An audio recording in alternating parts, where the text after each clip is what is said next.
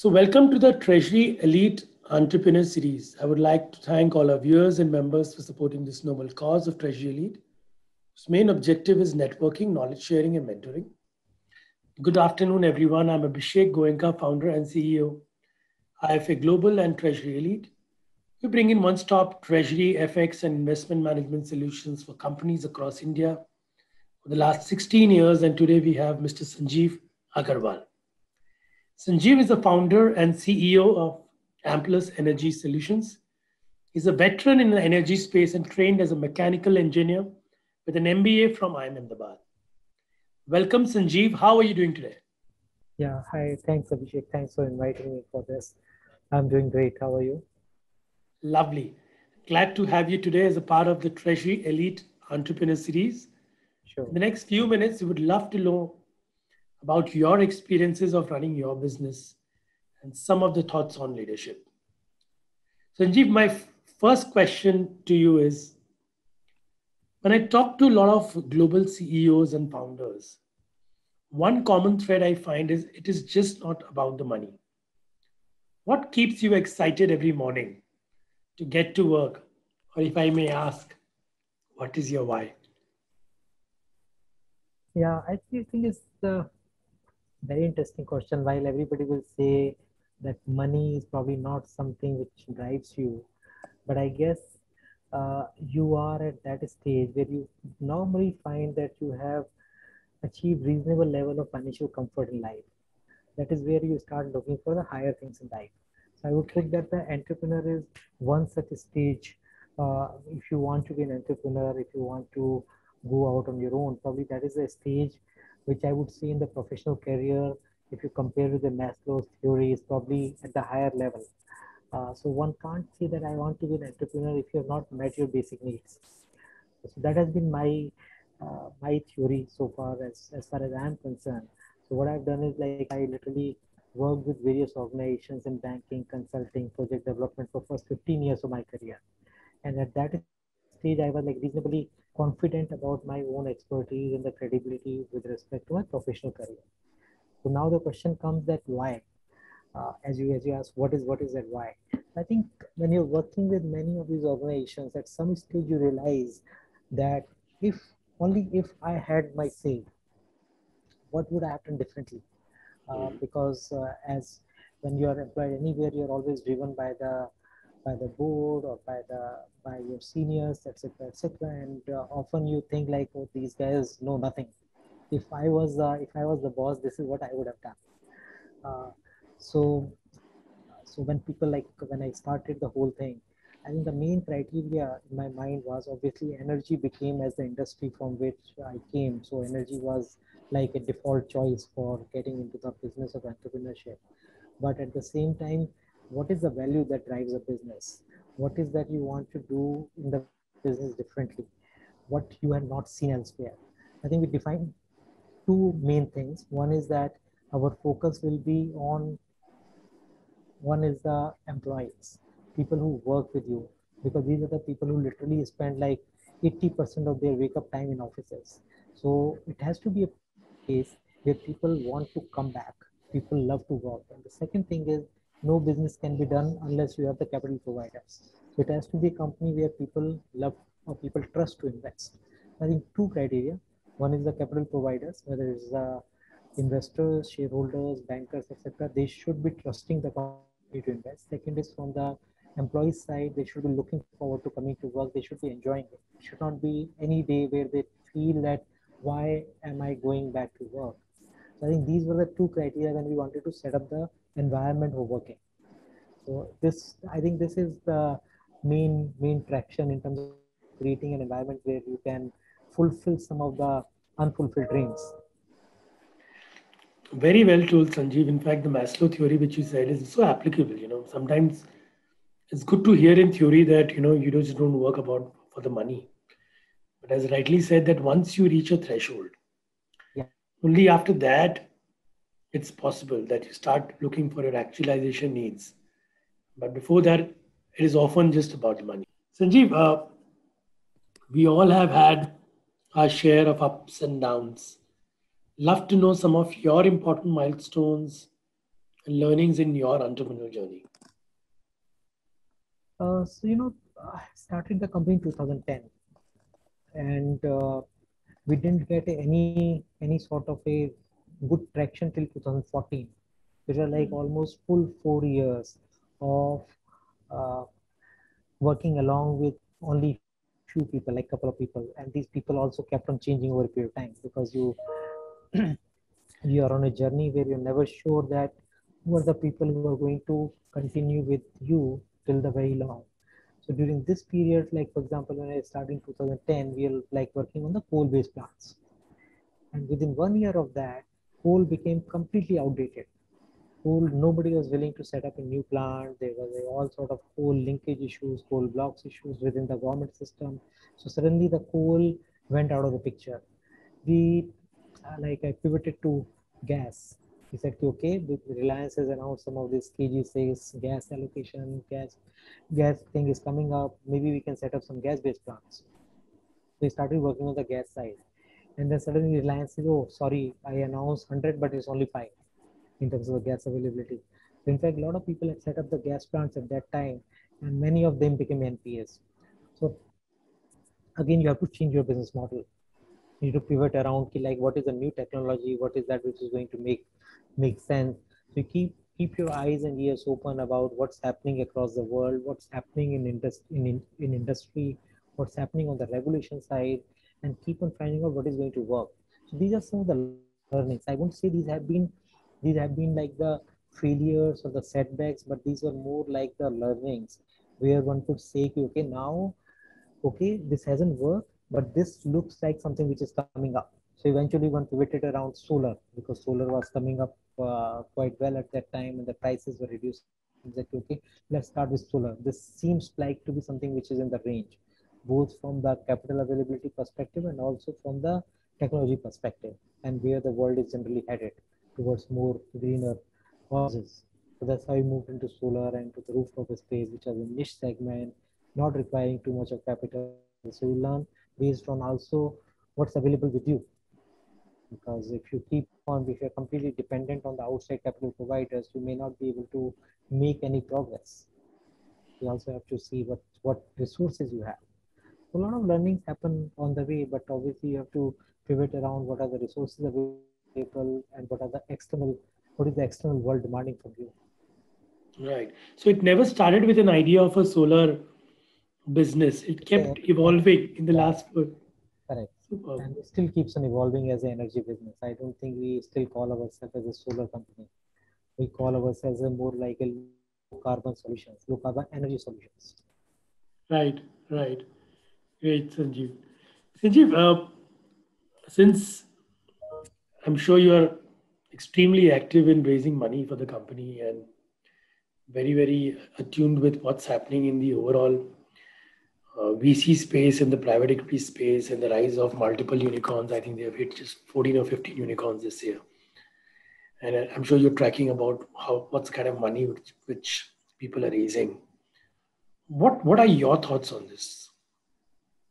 I think the world is today divided into two parts. One is our old economy businesses, like the infrastructure businesses, and there is a new set of businesses which are the like the digital businesses.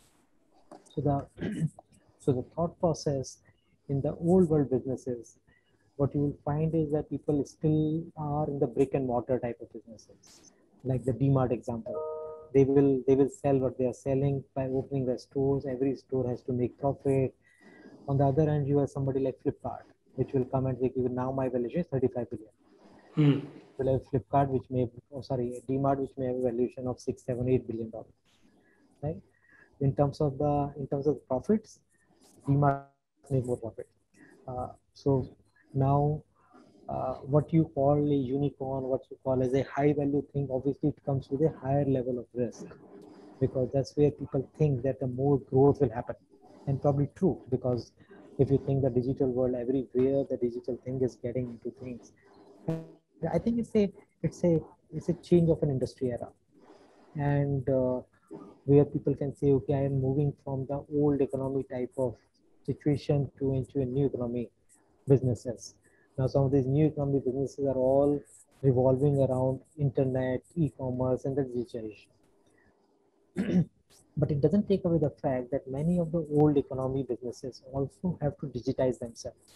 Because if they don't do that, they're also going to become outdated and they're going to become redundant.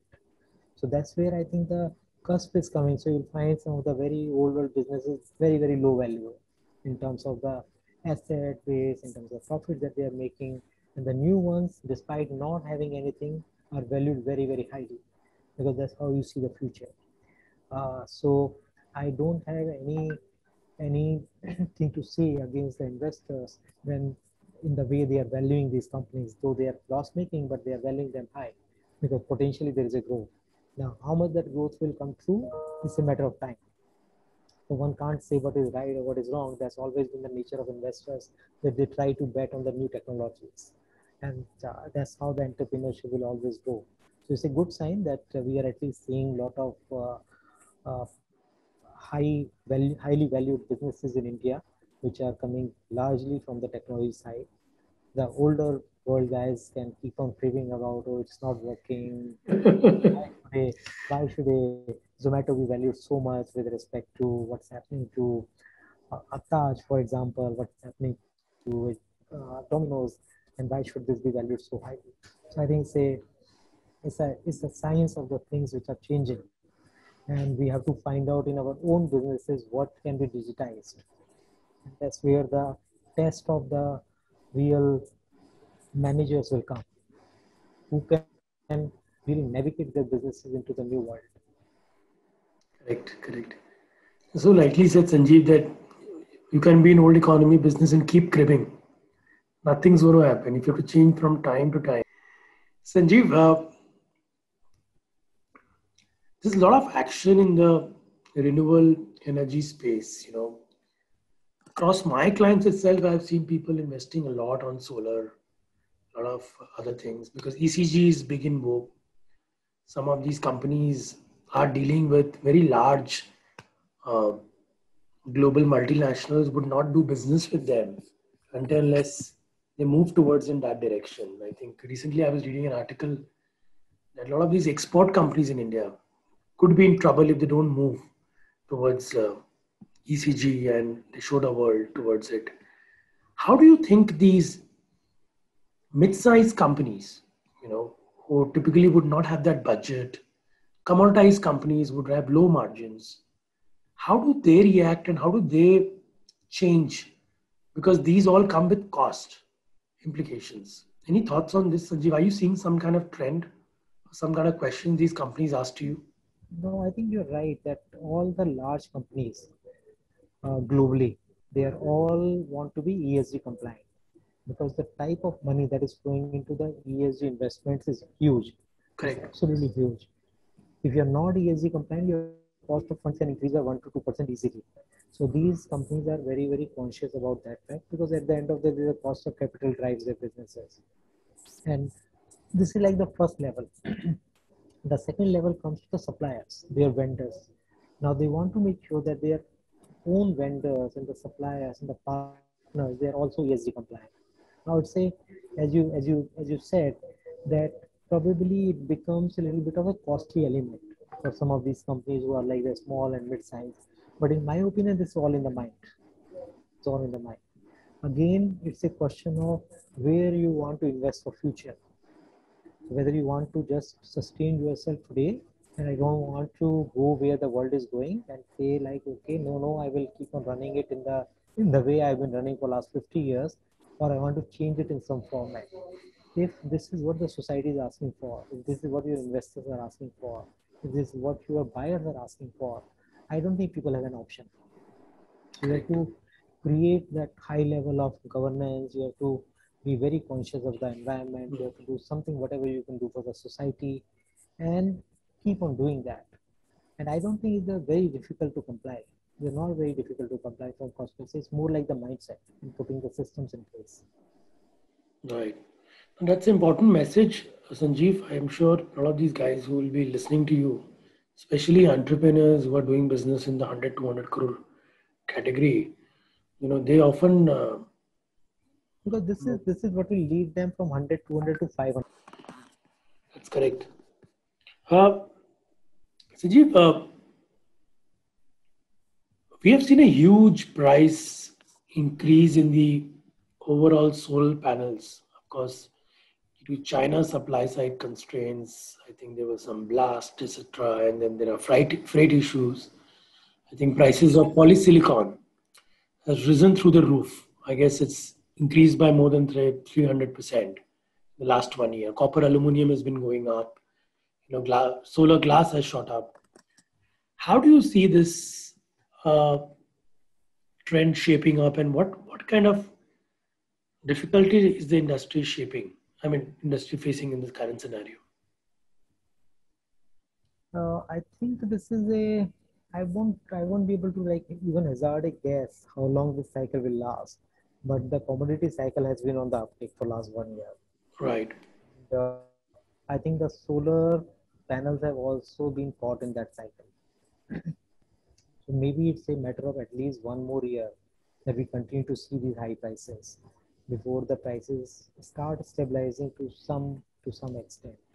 Mm-hmm. Uh, but in the context of India, the particularly the situation has become even more complex because the government has imposed a significant BCD, basic custom duty, which will come into effect from 1st April of next year, which is like 40%. 40%. Okay.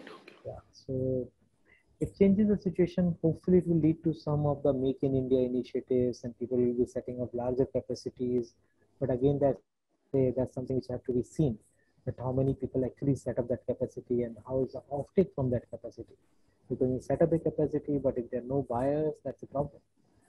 Uh, so I think it's a it's a difficult guess at this stage that uh, where will this cycle really end.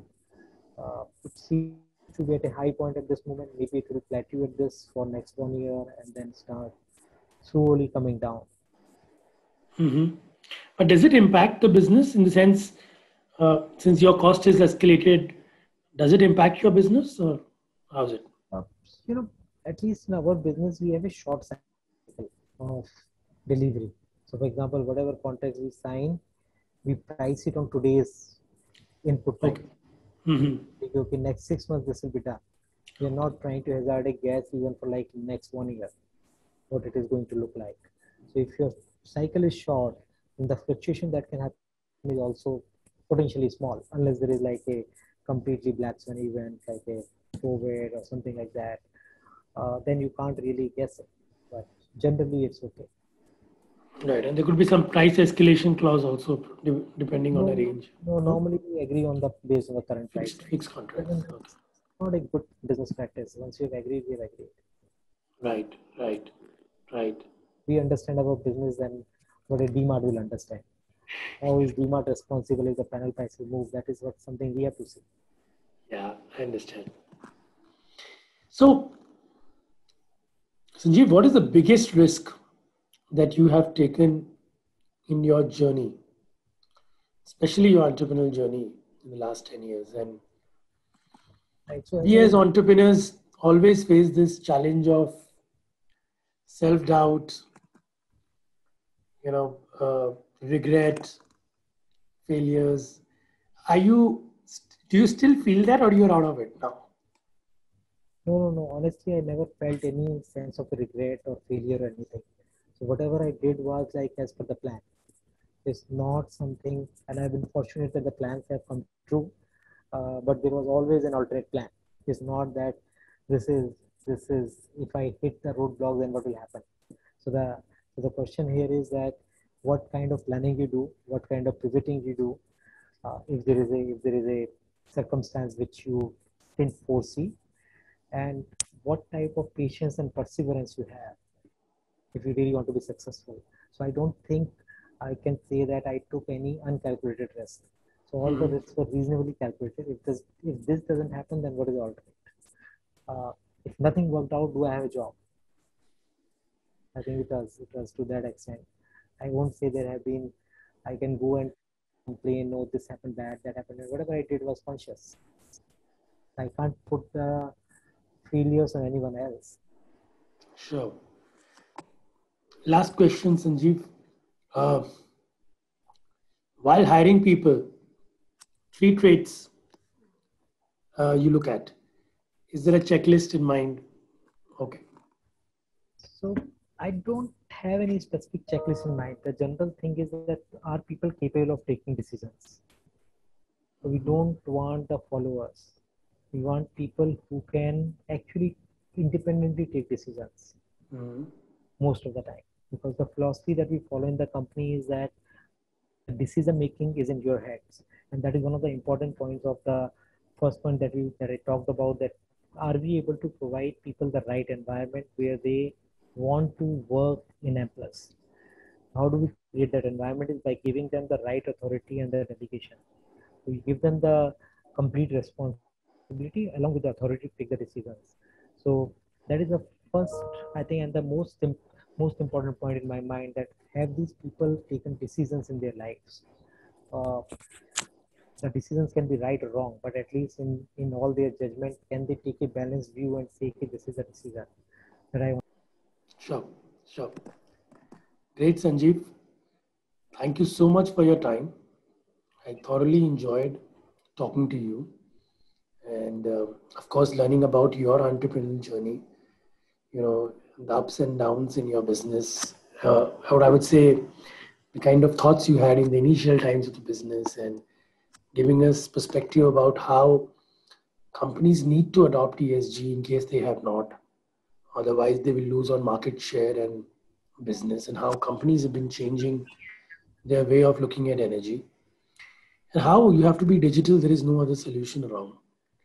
So once again, thanks, thanks so much, Sanjeev. We really value your time. Thanks so much for your inputs all the way.